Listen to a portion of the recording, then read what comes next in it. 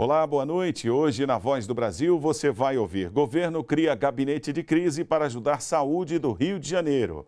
Direitos e deveres dos passageiros. A Agência Nacional de Transportes Terrestres divulga uma cartilha com dicas para quem viaja de ônibus. Seguro defeso. Pescadores não precisam mais ir até uma agência da Previdência Social para pedir o benefício. E ainda, verão olímpico e radical no Rio de Janeiro. Parque de Deodoro é aberto à população. Estas e outras notícias daqui a pouco, às sete da noite, na Voz do Brasil, em todas as emissoras de rádio do país. Até lá!